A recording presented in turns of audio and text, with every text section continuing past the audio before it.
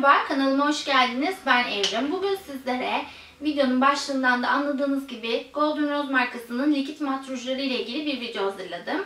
Ee, biliyorsunuz mat rujlar artık çok fazla gündemde. Ee, Birçok renkle karşımıza çıkıyor. Biz de dayanamadan alıyoruz, satın alıyoruz. Ben de yine aynı şekilde daha önce pastel rujlarımdan size bahsetmiştim. Şimdi de Golden Rose'un bu son çıkan sanıyorum 11 renkten oluşan e, serisini satın aldım. İçlerinde bir tek 8 numara yok. Onun dışındaki bütün renkler şu anda e, ben de onları sizlerle paylaşacağım. Biraz yapılarından bahsetmem gerekirse e, eğer pastelin rujlarını kullandıysanız çok benziyorlar. Kesinlikle dudağı kurutmayan rujlar daha önce 10 numarasıyla e, bu hepimize ilginç gelen 10 numarasıyla birazdan videoda da göreceksiniz. Bir makyaj oluşturmuştum günlük bir makyaj. Çıkar çıkmaz 10 numarasını satın almıştım ve ee, çok uzun zaman makyajlarımda kullanmıştım. Yani göz makyajımı, ten makyajımı 10 numara ruja göre belirlemiştim. O derece beğenmiştim. Ee, 10 numara dışındaki diğer renkleri de gerçekten benim hemen hemen hepsi sevebileceğim, rahatlıkla kullanabileceğim bir renk. Özellikle böyle e, makyajda rujun yeri sizin için başkaysa yani ten makyajından da önde geliyorsa, göz makyajından da önde geliyorsa kesinlikle bu rujlardan birkaç tane satın alırsınız diye düşünüyorum. Yapıları incecik, e, ama dudağı bir o kadar da örtüyor. E, açık bir iki rengi dışında e, kesinlikle çizgilere doluyor diyemem. Çizgilerinize dolmuyor. E, örtücülüğü dediğim gibi çok kuvvetli ve gün boyu rahatlıkla kullanabiliyorsunuz.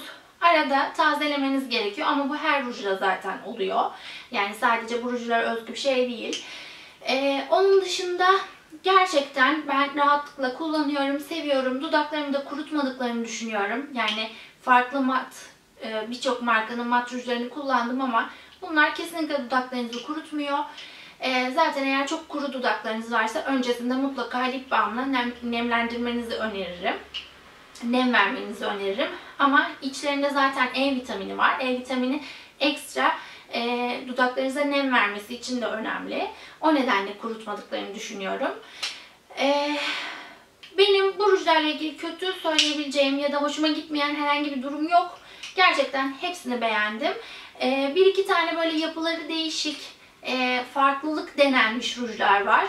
E, tam numaralarını hatırlamıyorum. Dediğim gibi videonun içeriğinde yani rujlar geldikçe göreceksiniz. Böyle biraz daha yanar dönerli, içerisinde hafif simler olan rujlar da var. Ama farklılık katmak için bence onlar da e, güzel olmuş. Şimdi videoya geçelim. Umarım keyifle izleyeceğiniz bir video olur. Şu anda dudağıma 01 rengini uyguladım. Bu en açık e, yani serinin en açık rengi. E, böyle pembeden turuncuya doğru giden yavru ağzı bir renk. E, en açık renk olduğu için tabii ki çizgileriniz eğer yoğunsa benim dudaklarımda fazlaca çizgi olduğundan dolayı onları belirginleştiriyor. Bu tamamen rengiyle alakalı. Rengi çok güzel. Evet serideki diğer rujlar gibi hatta Golden Rose'un kendi tüm rujları gibi oldukça kalıcı, başarılı ama dediğim gibi renginden dolayı gün içerisinde sıkça tazelemeniz gereken bir ruj. E, çizgilere dolduğunda onu tekrardan kullanabilmeniz için tazelemeniz gerekiyor. E, yaz aylarına yakışan bir renk olduğunu düşünüyorum. Ben e, yaz, önümüzdeki yaz aylarında severek kullanırım. Sıradaki rujum ise 02 numaralı rujum. Bu da böyle yine tamamen yaz ayları, yaz geceleri için, yaz akşamları için bence son derece uygun bir renk. Bu tabii ki koyu bir renk olduğu için çizgilerinizde gizleyen bir özelliğe sahip. Yani az önce uyguladığım 01 numaradaki kadar çizgilerinizi belirginleştirmiyor. Ee, şu anda ışıklardan böyle biraz mor gelebilir ama e, tamamen böyle e, çingene pembesi denilen bir pembe. Tamamen yaz pembesi. Bu da tamamen yine severek kullanabileceğim, özellikle yazın kullanabileceğim bir renk oldu. Üçüncü sırada serinin 3 numaralı ruju var. Ben de onu uyguladım dudağıma şu anda. Ee, bu ruja, yani bu renge çok yakın Golden Rose'un e, mat serisindeki, mat rujlarındaki bir ruja çok benzettim ben bu rengi. Ee, orada da var sanıyorum. Bu böyle gül kurusu bir renk tamamıyla ben bu rengi e, gül kurusu olarak tanımlayabilirim. Ee, ben bu rengi böyle çok yoğun göz makyajlarında kullanmayı seviyorum. Eğer e, nude bir e, dudak istemiyorsam eğer. E, bana nötre yakın bir renk gibi geliyor. Yani çok gözümü tırmalayan bir e, ruj olmuyor. Ya da bu renkler gözümü çok fazla tırmalamıyor. O nedenle bu da benim sevdiğim, kullanabileceğim renkler arasında. E, çizgilere çok fazla dolma yapmıyor dediğim gibi. E, sadece o problem açık renklerde biraz var. Onun dışında rahatlıkla severek kullanabileceğim bir renk. Eğer gül kurusu tonlarından hoşlanıyorsanız, gerçi bu biraz sonbahar e, rengi olabilir ama bence yazında kullanılabilir. E, eğer bu tonları seviyorsanız 03 numarası tam size uygun bir renk olabilir. 4 numara yine benim çok sevdiğim, bana biraz farklı gelen, gelen bir renk oldu. Ee, böyle içerisinde şeftalilik olan, biraz daha pembeye dönük bir şeftali, hatta biraz gül kurusu, koyu gül kurusu da diyebileceğimiz bir renk. Ee, aslında bu renk de böyle sonbahar, kış aylarında rahatlıkla kullanılabilir ama bence yaz aylarında da kullanılabilecek bir renk. Ee, özellikle böyle sadece rimellenmiş gözlerle ben çok yakıştırıyorum bu renkleri farklılık katıyor e, makyajınıza. E, o nedenle bu rengi de sevdim ve severek kullanacağımı düşünüyorum. Bu da böyle umarım kameradan net görünüyordur. E, bence hemen hemen herkesin sevebileceği bir renk. O nedenle bakmak isterseniz 4 numarada bence çok güzel bir renk. 5 numarada şu anda dudağımda. Bu da yine benim gerçekten sevdiğim bir renk oldu. Eğer morları, böyle koyu renkleri seviyorsanız bunu da seversiniz. Ee, tamamen mora doğru bir renk. Yani mor bir renk bana göre. Biraz kış rengi gelebilir çünkü e, kışın çok moda olan mürdümler, morlar yerini şimdi böyle daha lila tonlarına bıraktı. E, yani yaz aylarında e, morlar yerine daha lila renkler tercih edebilirsiniz. Ama bu da yine bence yaz kış e, kullanılabilecek bir renk. Kışın biraz daha fazla kullanılabilir ama bence yazın da kesinlikle e, rahatlıkla kullanılabilir. Eğer özellikle yazın çok fazla göz makyajıyla uğraşmak istemiyorum ama e, biraz da böyle iddialı e, bir makyajım olsun diyorsanız böyle koyu renkleri kullanarak sadece rimellerle ve güzel bir ten makyajıyla destekleyerek gerçekten son derece başarılı ve böyle üzerinde çok durulmamış bir görünüme kavuşabilirsiniz. Dediğim gibi bu da benim için yaz kış favori olabilecek bir renk. Aynı şekilde Golden Rose'un daha önceki videolarımdan da bakabilirsiniz. Videomdan bakabilirsiniz. Golden Rose'un e, yanlış hatırlamıyorsam 8 numarası e, yine böyle mor e, bir rengi renge sahip e, mat rujlarındaki. O da aynı şekilde böyle yaza uygun bir renk. Bu da hem yaz hem de kış rahatlıkla kullanılabilecek bir renk. Kesinlikle öneririm. Ve geldik 6 numaraya. 6 numara Yine eğer böyle çok kırmızı istemiyorsanız ya da çok pembe bir şeyler sürmek istemiyorsanız ikisinin arası böyle hafif nar çiçeği, nar çiçeğinden biraz daha koyu olabilecek bir renk. Bu da ben herhalde bütün renkleri seviyorum. O nedenle her e, ruju anlatırken size bunu söylüyorum. Söyleyeceğim de. Çünkü gerçekten çok güzel renkleri var. Renk çeşitliliği çok fazla başta söylediğim gibi. O nedenle bu da benim yine sevdiğim sevebileceğim renkler arasında. Zaten bir ruj bağımlısı, delisi olarak e, böyle farklı renkler kullanmayı çok seviyorum. Bu da dediğim gibi böyle çok ağır günlük hayatta özellikle gündüz çok ağır kırmızı sürmek istemiyorsanız ama canlı bir renk istiyorsanız çok pembeye de kaçmak istemiyorsanız tamamen ikisinin arası müthiş bir renk bence. E, koyu göz makyajlarına da uyabileceğini düşünüyorum. Çok fazla sırıtmaz, çok ağır olmaz. E, tamamen hep söylediğim gibi bomboş gözlerle de tamamen patlayabilecek bir renk. Çok başarılı. E, bu 6 numara gerçekten güzel bir renk. Buna da bakabilirsiniz. Zaten koyu olduğu için rahatlıkla dediğim gibi kullanabilirsiniz. Çizgi, çizgileri de çok fazla dolma yapmıyor. E, dudağınızı da çok fazla kurutmayan bir ruj. Hepsi için söylüyorum bunları. Tüm e, geneli olarak söylüyorum. E, bence çok başarılı bir renk. 6'ya da mutlaka bakın derim. Ve 7 numaraya geldik. 7 numarada dudağımdaki gibi duruşu bu şekilde. Bu rengi biraz anlatmam gerekirse e, pembenin bir tonu. Böyle biraz daha koyuya doğru giden bir tonu. E, 02 numarayı görmüştünüz. o rengin birkaç ton, bir iki ton koyusu diyebilirim bunun için ama bu rujun bir özelliği var. Sürdükten sonra anlıyorsunuz bunu. Ee, biraz böyle yanar dönerli bir renk. Yani mat durabiliyor. Evet yani mat duruyor dudağınızda matlaşıyor. Ama yine de böyle hafif yansımaları olan işte siz konuştukça ya da e, dudağınızı oynattıkça, yüzünüzü oynattıkça ışığa göre hafif böyle yansımaları olan bir renk. Çok sim değil. Yani sim var içerisinde kesinlikle diyemem. E, ama böyle sanki e, mat bir ruj değil aslında bu ruj. Sonradan matlaştırılmış gibi. Yani genelde bu yansıma mat olmayan rujlarda olur.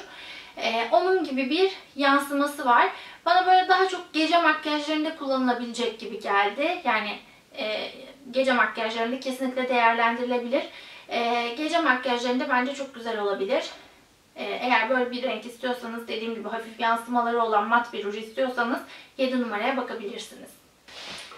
Ve 9 numaraya geçiyorum. Ee, bende 8 numarası yok. Sanıyorum 11 renkten oluşuyor bu seri.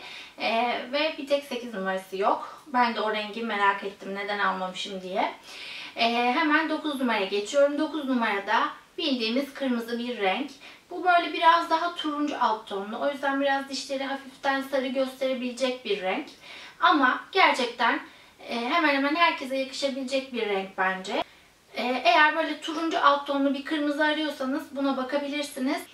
Ee, bunu da dediğim gibi eğer kırmızı arayışınız varsa 9 numarada değerlendirebilirsiniz. Ve 11 numaraya geldik. 11 numara e, Golden Rose'un çıkarmış olduğu 11 tane renk e, yanlış hatırlamıyorsam 11 tane likit mat ruj içerisinde en popüler, en dillere destan olan ve e, en fazla satılan ruju 11 numara. Çünkü e, ülkemizde bu tarz yani likit mat rujlar içerisinde bu tarz bir rengi ilk defa Golden Rose çıkardı. E, bilmiyorum ben bilmiyorum var mı e, bu renk gibi renkler. E, daha çok böyle yurt dışından özendiğimiz işte e, Instagram hesaplarından satın aldığımız e, markalarda var daha çok bu renk. Ve bence Golden Rose çok güzel bir şey yapmış. Ben de Çıkar çıkmaz bu seri ilk aldığım rengi 10 numaraydı. Çünkü gerçekten dudağımdaki duruşunu merak ediyordum. Evet çok iddialı, farklı bir renk. Ee, bilmiyorum herkes rahatlıkla kullanabilir mi ama ben alı, aldığımdan beri çok fazla kullanıyorum. Ne kadar kullandığımı da görebiliyorum. İlk defa bir e, ruju bu kadar e, bıkmadan, usanmadan her gün kullandım. Özellikle koyu göz makyajlarına kesinlikle çok yakıştırıyorum. Bununla ilgili de e, günlük makyajımı yansıttığım ve bunu kullandığım bir videom var. E, yine onu da izleyebilirsiniz. Kesinlikle çok başarılı bir renk. Bazıları e, bazılarını çok uymasa da bence herkes e, bunu satın alıp ve satın almıştır ve kullanmıştır diye düşünüyorum. Gerçekten çok farklı bir renk. E, bence bu tarz farklı renklerin hani daha e, ulaşılamayan özellikle ülkemizde olmayan markaların renklerinin e, böyle Türk markalarından e, çıkması, onların bu şekilde üretmesi gerçekten bence çok önemli. Ben 10 numarayı gerçekten çok sevdim. Hani bütün diğer renkleri bir kenara, bu bir kenara. E, çok başarılı. Umarım formülasyonu değişmez daha sonraki üretimlerde. Bence tek geçebileceğim renk 10 numara. Mutlaka eğer edinmediyseniz ve bir ruj almak istiyorsanız bu seriden 10 numaraya mutlaka bakın. Ve son rujum ise 11 numara. 11 numara böyle biraz kahveli, e, kahve alt tonlu bir nude diyebilirim bunun için ama e, bu da yine formülasyonu biraz değişik bir ruj. Evet mat, matlaşan bir ruj. Dudağınızda matlaşıyor ama içerisinde çok küçük küçük yine sim, de, sim değil bana göre. Sim e, diyemem asla. E, ben biraz böyle e, far farların yapısına benzettim. Hani aslında çok simli durmayan, çok matta durmayan far e, yapılarına, farların yapılarına benzettim bu ruju. Bu da böyle nötr bir renk bana göre ama e, dediğim gibi farklılığı da içerisindeki bu yansımaları. Bu da değişik olmuş bence. Bunu e, bu çok fazla sevilmiyor sanıyorum. Birkaç videoda öyle denk geldim ama ben bunu da sevdim. Böyle farklı e, bir ruj kullanmak istediğimde kesinlikle kullanabilirim. Zaten rengi çok iddialı değil. İçerisindeki simler de çok yani sim değil. İçerisindeki yansımalar da çok fazla rahatsız edici değil. E, o nedenle farklılık istediğim zaman kullanabileceğim bir renk kesinlikle. E, ben bunu da sevdim. Ben bu serinin tamamını sevdim. Ben gerçekten bu rujların çok başarılı olduğunu düşünüyorum. Bu serilerin özellikle e, hem Türk markası olmalarından dolayı hem de gerçekten bu kadar renk çeşitliliği varken ve bu kadar e, formülasyonları, yapıları başarılıyken gerçekten gidip e, başka rujlara 50-60 lira vermek e, evet veriyoruz hepimiz verdik zamanında ama bunlardan sonra gerçekten alırken bir iki kere düşünüyorum. Hani elimde olmayan renkleri yakalamaya çalışıyorum alacaksam da. Çünkü gerçekten hem fiyatları bu fiyata e, bu şekilde bir sonuç gerçekten bana göre çok başarılı olmuş. O nedenle Golden Rose ve e, işte Pastel'i de çok seviyorum. Bu tarz markalar benim hep radarımda olan markalar. E, ben severek hemen hemen her ürünlerini severek kullanıyorum. Tabii ki içlerinden sevmediğim ürünleri de var. Ama çoğunlukla markanın e, markaların özellikle kendilerini yenilemelerini ve hep böyle gündemde olan ürünleri e, yakalamalarını ve bizlere sunmalarını çok seviyorum. E, o nedenle bu seriden eğer e, ruj almayı düşünüyorsanız ya da bu seriden bu markadan ürün almayı düşünüyorsanız hiç düşünmeden bence e, gidip bakabilirsiniz. Eğer likit mat ruj istiyorsanız da bu seriye mutlaka bakın derim. Benim Golden Rose rujlarla ilgili videom bu kadardı. Umarım keyifle izlemişsinizdir ve renkleri hakkında fikir sahibi olmuşsunuzdur. Eğer videoyu beğendiyseniz beğene tıklamayı ve kanalıma abone olmayı unutmayın lütfen. Sosyal medya hesaplarımdan da sizleri bekliyorum. Ee, şimdilik bu kadar. Yeniden görüşmek üzere. Kendinize iyi bakın. Hoşçakalın.